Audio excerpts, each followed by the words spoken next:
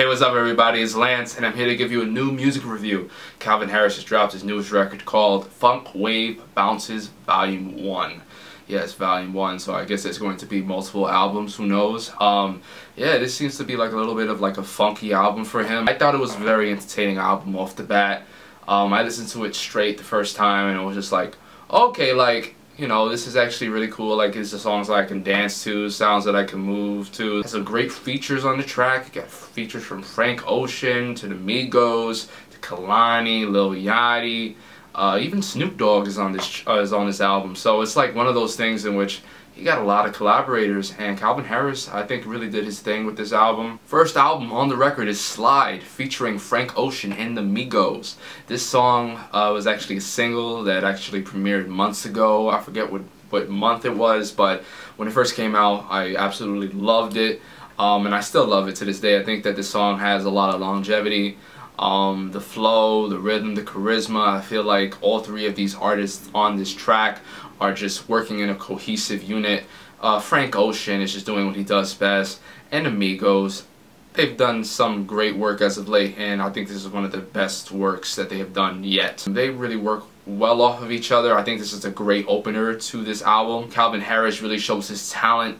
Um, I believe there was a video on his Twitter showing how he made the beats to this and I was very impressed by how he was able to do it. I just really adore this track honestly. I think it's probably one of one of, if not the best track on the album. Alright, the second song on the album I believe is called Cash Out. It's featuring Schoolboy Q, Party Next Door, and Dram. I really did not mind this track. It was actually pretty decent. Um, there's a couple of things. I really admired the funky beat. Uh, has some really good, really good production. It's really outgoing, really out there. Uh, I believe it was a good follow-up to Slide. However, I just feel like, you know, out of all of these people that are on this track, PartyNextDoor undoubtedly is probably uh, the one that I could probably do without. I feel like Schoolboy Q really brings uh, his A game, and I really feel like Dram towards the end of the song tries to save it, but like towards the middle, it's kind of like Party Next Door is kind of giving like these lazy uh, phrases, these lazy, uh, these lazy chorus beats, these hooks, and I was just like not into it too much. Honestly, I just didn't think that it held it really much together towards the middle, and then Dram comes out of nowhere towards the end and just believe some like like he gives us some killer vocals. He really does a good job in trying to save it and just trying to like keep this thing together and still making it out to be like a pretty decent to solid uh, uh, track. Um, so not a bad track at all. Um, but it could have been way better, honestly, in my opinion. Alright, so the third track on the album is called Heatstroke, featuring Young Thug and Ariana Grande and I believe that Young Thug really does a really good job. Another funky dance beat has really good production as well.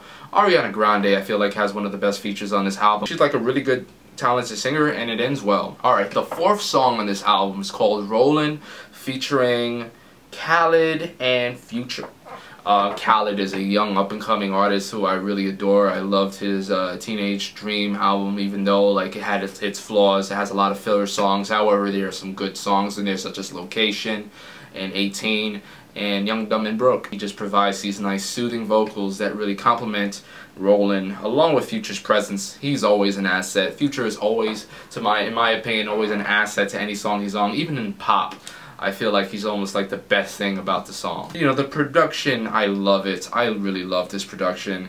Uh, you know, it just comes off really good. Uh, the thing is, is that also is that one critique about the song is that even though how much I love Khalid, Khalid kind of gets a little re repetitive with the chorus. Um, I understand it's the chorus, and I'm not knocking that, of course, it's the chorus. However, I just feel like I think the structure of the song really, really fails towards the towards the middle. I feel like there could have been something to really change it up towards the middle to keep this from becoming just a solid track. It could have became a great track, but I just feel like there was something there that just needed to be done. Uh, Khalid's chorus was becoming repeated, and I was like, all right, cool. Like, you know, I could dance to this, I can groove to this. However, it's just like you're keeping it from becoming gold, and right now it's silver. The next song on this track list is Prayers Up, featuring A-Trak and Travis Scott. Now, I think this is actually the most forgettable song on this album. I think it's more of like a strip club song. Uh, there's some good stuff in there by Travis Scott. Travis Scott is always great. You know, I don't think that he's bad at all. I really enjoy his music.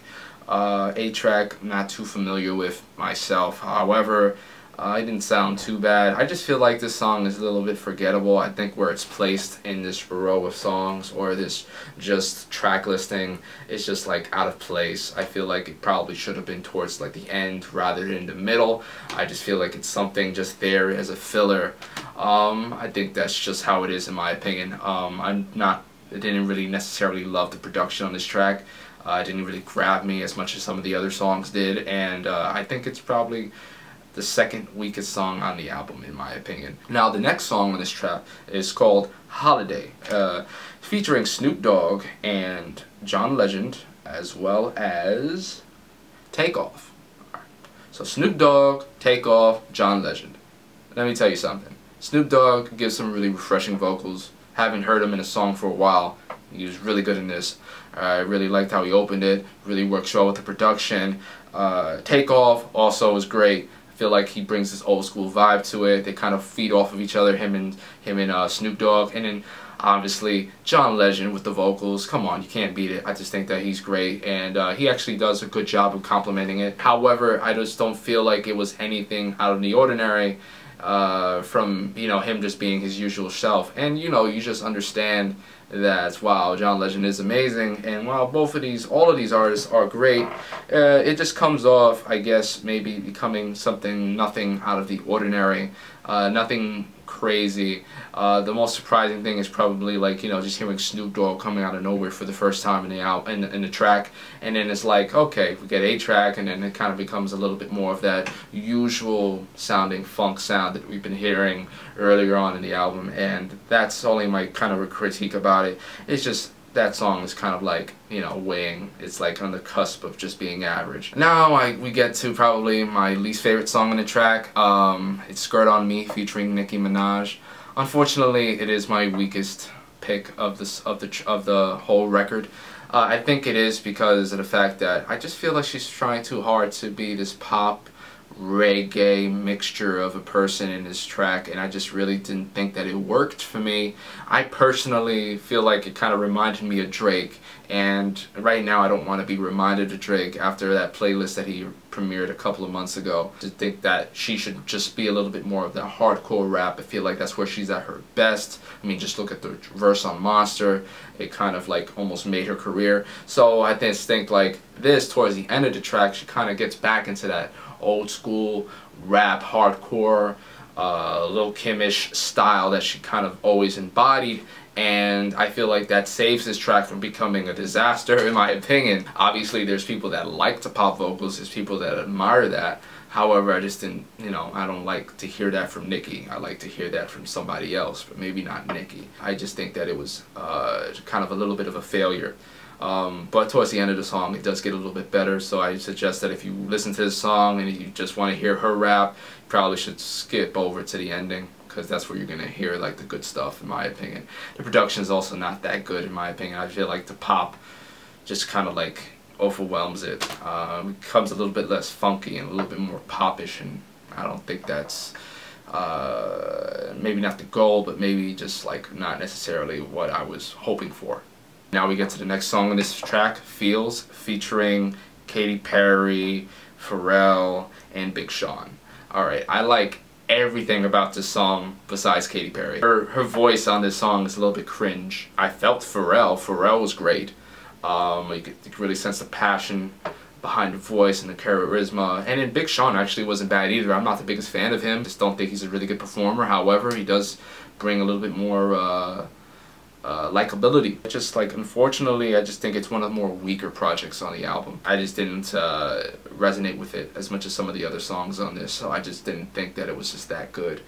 Uh, not saying I could do without it, I think it stands on its own, but I just didn't think that it was just that good. Alright, so we got Faking It featuring both Kehlani and Lil Yachty. This, in my opinion, is probably the second best song on the album. I feel like Kehlani, her vocals are just great, and I just think that she's so talented and she really brings it with the song. Lil Yachty, You know, I'm not the biggest fan of him. However, I just, I do think that he does a really good job with his lyrics. I do think that he does a really good job with his delivery. And I think that uh, they both complement each other in great ways. Along with the instrumental, I just think that the production is really good. Calvin Harris just does a great job in in taking these two collaborators and just putting them two young up and coming artists of their respective genres one being more of an R&B singer the other one being more of a rapper a new wave rapper and who's faced a lot of criticism both have for like different things. However I just think that them being in this uh, song together really did a lot of great things in my opinion. I feel like it was actually a really solid entry and I think it's probably the second best song on the entire album. Now we get to the last song of the entire Calvin Harris album. We got Hard to Love featuring Jessie Reyez.